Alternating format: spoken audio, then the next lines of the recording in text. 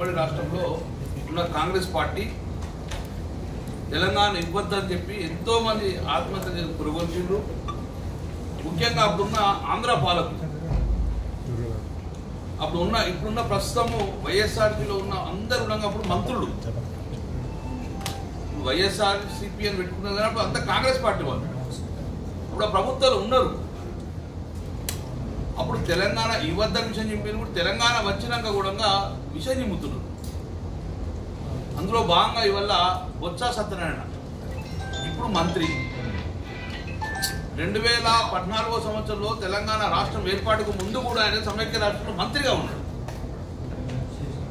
ఆయనే ముఖ్యంగా ఈరోజు ఒక కామెంట్ చేసి విద్యా వ్యవస్థ మీద కామెంట్ చేసి ఈ భారతదేశంలో అత్యున్నతమైన విద్యను అందించే ప్రభుత్వము కేసీఆర్ ప్రభుత్వం. ఇది మేం చెప్పడం లేదు. కేంద్రంలో ఉన్న కేంద్ర ప్రభుత్వం చెప్పింది విద్యా వ్యవస్థ ఇంత మెరుగైంది. సమైక్య రాష్ట్రంలో ఎంత డల్గా ఉండే ఏ స్టేజ్లో ఉన్నామో తెలంగాణ రాష్ట్రం ఏర్పడిన తర్వాత అన్ని రంగాల్లో తెలంగాణ ప్రభుత్వం ముందుకు కేంద్రంలో ముఖ్యంగా విద్య ముందుకేందని చెప్పేసి బాలే మిషన్ ఒక్కసారి ఫస్ట్ ఫేజ్లో మీరు విద్యా వ్యవస్థ మీద చెప్పారు కాబట్టి తెలంగాణ రాష్ట్రం ఏర్పడక ముందు ఉమ్మడి రాష్ట్రంలో ఉమ్మడి రాష్ట్రంలో విద్యా వ్యవస్థ మీద నీకు చిత్తశుద్ధి లేక వెనుకబడిన కులాలు దళిత వర్గాలు మేము చదువుకుంటాము మాకు గురుకులాలు ఇవ్వమని చెప్పి మొత్తుకుంటే కూడా గురుకులాలు ఇవ్వాలి. రెండు వేల పద్నాలుగు తెలంగాణ రాష్ట్రం ఏర్పడక ముందు మన దగ్గర ఉన్న గురుకులాలు రెండు వందల తొంభై ఎనిమిది. ఆ రికార్డ్ ఐఎమ్ నీకు. రెండు వందల తొంభై ఎనిమిది గురుకులాలు మాత్రమే ఉండే. ఎంతమంది చదువుకున్నారు? మీ ట్రాన్స్ఫర్ ఎంత ఉంది ఎక్కడన్నా లక్ష ఐదు లక్షలు ఇస్తే మంత్రులు ట్రాన్స్ఫర్ చేసే పరిస్థితి ఇప్పుడే మీ అకౌంట్స్ అవుతుంది. కానీ మాకు ట్రాన్స్ఫర్ జరుగుతుంది? నాకు చేసుకునే పరిస్థితి అంటే మీరు పైసలు తీసుకొని ట్రాన్స్ఫర్ చేయమంటాం మేము? ఇది దాన్ని పెట్టుకోను. ఒక రాష్ట్రంతో ఇంకో రాష్ట్రం కంపేర్ చేయొద్దు. విద్యా సంస్కరణ అమల్లో మొద ఏపీ మొదటి స్థానం ఉంది. సిగ్గుతో తల ఉంచుకోవాలి ఇప్పుడు చెప్తున్నా ఆన్ రికార్డు ఇది నువ్వు బొత్స సత్యాన్ని నా కామెంట్కు నువ్వు ఇమీడియట్గా స్పందించాలి సాయంత్రం వరకు. నా దగ్గర వెయ్యి పంతొమ్మిది ఉన్నది నువ్వు ఫస్ట్ ఎట్లా అవుతావు నా మూడు వందల ఎనిమిది నీ దగ్గర ఉంది ఎట్లా ఫస్ట్ అవుతావు నీ దగ్గర ఇరవై వేల మంది విద్యార్థులు అవుతారు మా దగ్గర ఆరు లక్షల యాభై విద్యార్థులు అవుతున్నారు ఏ విద్యా వ్యవస్థ? కేంద్ర ప్రభుత్వంలో గణాంకాలు తీసుకొచ్చుకొని ఈ భారతదేశంలో విద్యా వ్యవస్థ ఖర్చు పెట్టే ఈ తొమ్మిది రాష్ట్రాలు తొమ్మిది సంవత్సరాలు ఇవ్వాలంటే నెంబర్ వన్ తెలంగాణ వచ్చింది. అన్ని రంగాలతో పాటు జీరో రంగం ఉన్నది. మొన్న మొన్న కేంద్ర ప్రభుత్వం కూడా మనకు అన్నిటి విధంగా అవార్డు ఇచ్చారు ఒక్కటే నేర్పికొచ్చింది అది ఒకటే నేర్పికొచ్చింది వచ్చింది ఒకటన్నా ఇరవై రెండు ఇస్తే పంతొమ్మిది మాకే వచ్చాయి కదా ఇరవై ఒకటిలా నేనేమంటున్నా బొత్స సత్యనారాయణ గారు మాట్లాడుతున్నా వాళ్ళ ప్రభుత్వం మాట్లాడుతున్నా ఇంకా విషయం నింపుతా ఉన్నది తెలంగాణ ప్రభుత్వం మీద. మా సభ మీద మా మా ప్రశ్న ఉన్నప్పుడు ఎందుకు మా విషయం నింపుతారు? రోజు ఒక నాయకుడు మాట్లాడతాడు. రోజు షర్మిల వచ్చి మాట్లాడుతుంది. వాళ్ళు ఇంకా విషయం నింపుతా ఉంటారు.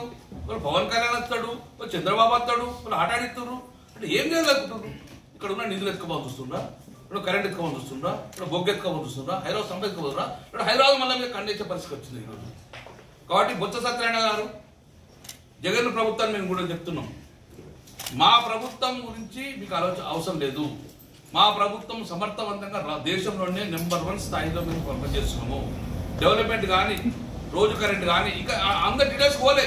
మీరు మాట్లాడే విద్యాభ్యాసం మాట్లాడమంటే మేము విద్యాభ్యాసమే కంపేర్ చేసినాం. స్కామ్ల మీద మాట్లాడినప్పుడు స్కామ్ కంపేర్ చేసినాం మేము తెలంగాణ మా ప్రజల్లో మేము అభివృద్ధి చేస్తున్నాము ఇది ఆ రికార్డులో వచ్చా మీరు ఇమ్మీడియట్ స్పందించాలి. స్పందించినాక నువ్వు హైదరాబాద్ పెట్టాలి. రైట్ కూడా నిజంగానే ఇట్లా జగన్ కనుసాగలు లేక మాట్లాడకపోతే ఇమీడియట్ భర్తరం చేయమన్నాడు ఎట్లా మాట్లాడిన ఆన్ రికార్డు ని- విద్యా వ్యవస్థ నెంబర్ వన్ ఏ పేరు ఎట్లా అనుకుంటాడు? ఈ గురుకులకు ఆన్ రికార్డు ఉంది కదా? నాకు ఆన్ రికార్డు ఉంది కదా? నువ్వు సమర్థిస్తున్నావా? నువ్వు బుత్స సత్యనారాయణ సమర్థించితే గిట్ట చెప్పు సమర్థించకపోతే మాత్రం ఇమీడియట్ ఆయన నువ్వు చేసి ఎందుకు మాట్లాడుతున్నామని మేము పక్క రాష్ట్రంతో మంచిగా కోరుకుంటున్నాం. పక్క రాష్ట్రం కయ్యం ఎందుకు పెట్టుకున్నాడు? కయ్యం పెట్టుకుంటే మాకు చరిత్ర మాకు ఉద్యమాలు చేసి తెలుసు కయ్యం పెట్టుకుంటూ తెలుసు మాకు. అడ్మినిస్ట్రేషన్ విఫలమైంది. కనీసం టీచర్ల బదిలీలు చేయట్లేదు. కౌన్సిలింగ్ కూడా చేసుకోలేకపోతున్నారు. వాళ్ళకు పాలన చేత అన్న రీతిలో మాట్లాడారు.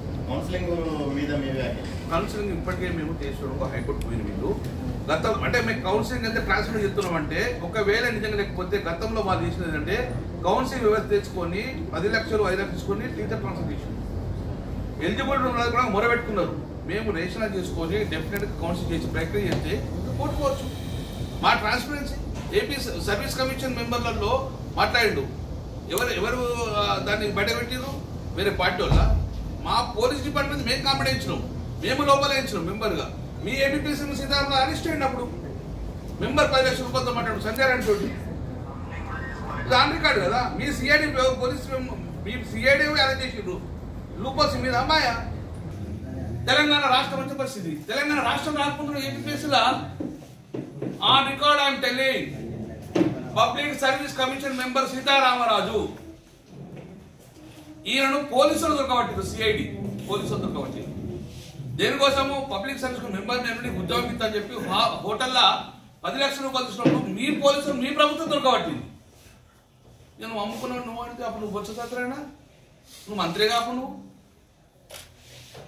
నువ్వు విద్యా వ్యవస్థ మాత్రం నువ్వు. అంటే ఇది అభిషించముడు ఇది. ఇది ఏపీపీఎస్ సంబంధించింది. ఇది గురుకులాలకు సంబంధించింది. ఇంకా అఫ్రాల్ అంటే తెలంగాణలో ఏమి జరుగుతుందో రోజు చూస్తున్నాం. ఎందుకు చూస్తున్నాం కండేసినాం మనం ఇంకా తెలంగాణ సెపరేట్ అయిపోయింది. మా బాధ మేము పడుతున్నాం మా కష్టం మేము పడుతున్నాం. ఇంకా బాధ కన్నెందుకు తెచ్చుండు? అంటే ఇక్కడికి వెళ్ళి వాళ్ళ మనసంతా ఇక్కడ ఉంది. ఎట్టి బస్సులో దొడ్డిదారిన మీ జగన్ ప్రభుత్వం ఆడించిన నాటకము దొడ్డిదారిని తీసుకొచ్చి మళ్ళా ఎవరెన్నో పంపుతాను పంపి తెలంగాణను మళ్ళా విసర్జించే ప్రయత్నంలో భాగమే. వస్తుంది నువ్వు ఎవరైనా పంపిస్తున్నావు? ఇక్కడ ఎవరైనా ఆట ఆడుతున్నావు మొత్తం వస్తుంది. పబ్లిక్ కమిషన్లో లీకేజ్ అరెస్టులు. ఎస్ ధైర్యం చెప్తున్నాం. ఎవడు లీకేజ్ చేసినా అరెస్ట్ చేసినా మేము. కానీ మీ మెంబరే డబ్బులు వసూలు చేసే ఇది నిదర్శనం నీ విద్యా వ్యవస్థ. ఉపాధ్యాయ బదిలీలో చేసుకునే పరిస్థితి. చూడలేదా మనం? ఉపాధ్యాయ ట్రాన్స్ఫర్ అంటే ఉపాధ్యాయ ఎక్కువ మంత్రి ముందు నిలబడాలి. ఏపీలో ఉన్నాయి మూడు వందల ఎనిమిది గురుకులాలు. వచ్చే సత్యనారాయణ వినాలే నువ్వు. వినాలే. నీ విషయం ఇప్పుడు బంద్ చేయి నువ్వు. నేను ఒక వెయ్యి పంతొమ్మిది గురుకులాలు ప్రజెంట్ ఉన్నాయి నా దగ్గర. నీ దగ్గర ఎన్ని ఉన్నాయి? మూడు వందల ఎనిమిది గురుకులాలు ఉన్నాయి. ఎంతమంది చదువుతున్నారు నీ దగ్గర? కేవలం ఇరవై ఐదు వేల మంది మాత్రమే చదువుతున్నారు మీ దగ్గర. కేవలం ఇరవై ఐదు మంది మంది మాత్రమే చదువుతున్నారు. నాలుగు.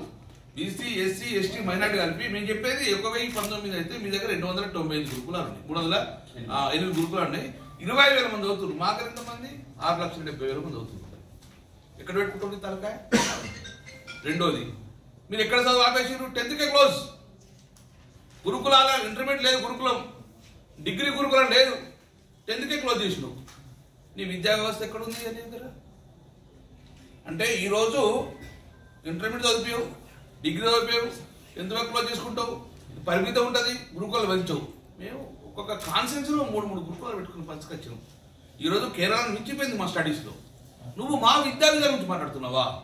మేము ఎప్పుడు నీ గురించి జోలికి రాలే. కానీ నువ్వు వచ్చినావు కాబట్టి మేము చెప్పుకోవాల్సిన బాధ్యత మాది మేము చెప్పుకోవాలి. మేము చెప్పుకోవాల్సిన బాధ్యత రెండోది పబ్లిక్ సర్వీస్ కమిషన్.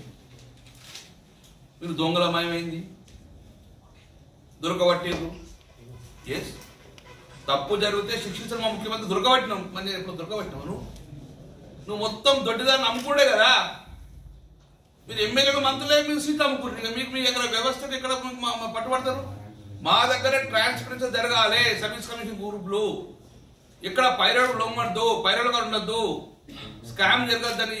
ఈ స్కామ్ తీసింది ఎవరు? తెలంగాణ ప్రభుత్వంలో మేమే కదా తీసింది. మా ప్రభుత్వం మా ప్రభుత్వమే కదా. దొంగలు దొరకబట్టి జైలు పంపించినాం. మరి మీ దగ్గర మీరే పైరలు చేసుకోబడి పోస్టుల కోసం మీ మీద దొంగలుగా జరుగుతుంది? కోటి కోట్ల మంది చదువుతామన్న మీ యొక్క ఫెయిల్యూర్ వలన చదవలేకపోయింది. ఎనభై మూడు వేలు. మరి తెలంగాణ రాష్ట్రం ఏర్పడేది కదా. తెలంగాణ రాష్ట్రం ఏర్పడిన తర్వాత అన్ని రంగాల్లో ముందుకు ఉండాలి విద్యను అందియాలి బడుగు బలహీన వర్గాలకు విద్యను అందివ్వాలి.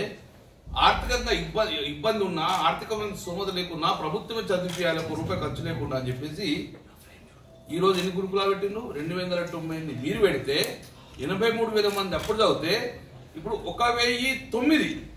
ఒక వెయ్యి తొమ్మిది తెలంగాణలో గురుకులాలు ఈ రోజు ప్రజెంట్గా ఉన్నాయి. ఎంతమంది అవుతున్నాం మేము గురుకులాలలో? ఆరు లక్షల డెబ్బై ఐదు వేల మంది ఈరోజు గురుకులాలు చదువుతున్నాం సమైక్య రాష్ట్రంలో ఎంత ఉండే? తెలంగాణ రాష్ట్రంలో విద్యా వ్యవస్థ ఎట్లా దీనితో పాటు హాస్టల్స్ మిగతా స్కూల్ కలిపి సుమారు పది లక్షల మంది బిడ్డలు ఈరోజు తెలంగాణ ప్రభుత్వం జరుగుతుంది తెలంగాణ ప్రభుత్వము చదివిస్తుంది. ఒక్కొక్కరి మీద లక్ష ఇరవై వేల రూపాయల పెట్టుబడి పెట్టి గొప్పగా చదివిస్తుంది తెలంగాణ రాష్ట్రం వచ్చిన తర్వాత. ఎక్కడికి పోయినా మేము? భారతదేశంలో కూడా విద్యా వ్యవస్థలో ఇన్ని గురుకులాలు పెట్టింది ఏకైక రాష్ట్రం తెలంగాణ రాష్ట్రం. మరి ఇప్పుడు ప్రజెంట్ మేము మా పరిస్థితి మేము చెప్పినాం. ఎక్కడ వరకు ఉన్నాము? టెన్త్ చదివించినాం.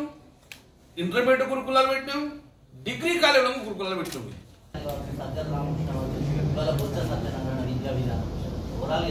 ఓవరాల్గా అదే విషయం చెబుతున్నారు ఇక్కడ కడుపు మంట కళ్ళ మంట స్టార్ట్ అయింది. మేము ఉచిత కరెంట్ ఇస్తున్నాము. ఇప్పటికే కాంగ్రెస్ పార్టీ ఆయనతో మాట్లాడేది మాట్లాడుతుండో ఉచిత కరెంట్ మాట్లాడుతున్నారు. తర్వాత మోటార్లు మీటర్లు అంటున్నారు బీజేపీ ప్రభుత్వము.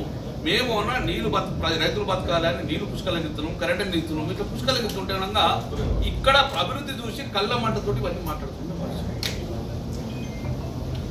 కాంగ్రెస్ కామెంట్ మీద కాంగ్రెస్ వస్తా ఉండకపోవచ్చా వైఎస్ఆర్ సిపి అనేది వేరే కాదు సేమ్ డిఎన్ఏ అంతా సేమ్ కాంగ్రెస్ వచ్చిన వాళ్ళే వైఎస్ఆర్ కూడా. గతంలో ఇప్పుడు ఉన్న వాళ్ళంతా కూడా బుద్ధ సత్యనారాయణ అప్పుడు కాంగ్రెస్ డిఎన్ఏనే అప్పుడు కాంగ్రెస్ పార్టీలో ఉండే. ఆ ప్రభుత్వమే కంటిన్యూగా మాట్లాడుకుని సేమ్ అదే విషయం ఉండకపోవచ్చు ఇప్పటికీ మేము ఆంధ్ర పాలకుల గురించి మాట్లాడుతున్నాం. ఆంధ్ర ప్రభుత్వం మామి మంత్రులు మామి చేసిన దాని మీద మేము మాట్లాడుతున్నాం. తెలంగాణలో ఉన్న బిడ్డలు వేరే దేశాలకు స్టడీ చేయాలంటే మేము ఓవర్సీస్ ఖర్చు ప్రపంచం ఇచ్చాం దేశంలో ఎక్కడ ఏ విధంగా? ఇరవై లక్షల రూపాయలతో పాటు ఫ్లైట్ టికెట్ కొనిచ్చి పంపించినాం మేము. మా గురుకులాల బిడ్డలు ఐఐటి ఐఏఎస్ ఐపీఎస్ పొందిరు ఒక్క రూపాయి ఖర్చు లేకుండా ఉన్న దాని దగ్గర విదేశీ విద్య ఓవర్సీస్ స్కాలర్షిప్ ఉన్న దాని దగ్గర ఒక్కటి కాదు మేము ఓన్లీ విద్య గురించి మాట్లాడుతున్నాం. విద్య దానికి చాలా మేము రైతు బంధు గురించి కానీ ఓన్లీ విద్య గురించి మాట్లాడి కాబట్టి ఈ దేశంలోనే ట్రాన్స్పరెన్సీగా పనిచేసే ప్రభుత్వం కేసీఆర్ ప్రభుత్వము. అది విద్యా వ్యవస్థలో ఏ పొలిటికల్ ఇన్వాల్వ్మెంట్ లేదు. ఎడ్యుకేషన్ దాన్ని ఇంతవరకు కూడా గుర్తుపెట్టుకోరు మా గురుకులాలలో మా సొంత కొడుకు కూడా టికెట్ ఇప్పించుకుని సీట్ ఇప్పించుకునే పరిస్థితి ఉన్నది. అన్ని మెరిట్ ట్రాన్స్పరెన్సీ మంత్రుల కొడుకుడంగా పైరతోటి గురుకులాలో అడ్మిషన్ రాదు. ఎమ్మెల్యేల కొడుకుడంగా అడ్మిషన్ రాదు. ఇది ఒకటి ట్రాన్స్పరెన్సీగా రికార్డ్ అవుతుంది. ఆన్లైన్ మెరిట్ మీద. ఉన్నది అన్ని దగ్గర వ్యవస్థ అట్లా అంత దొడ్డిదారిని రిక్రూట్ చేస్తాం ఇది మా ట్రాన్స్పరెన్సీ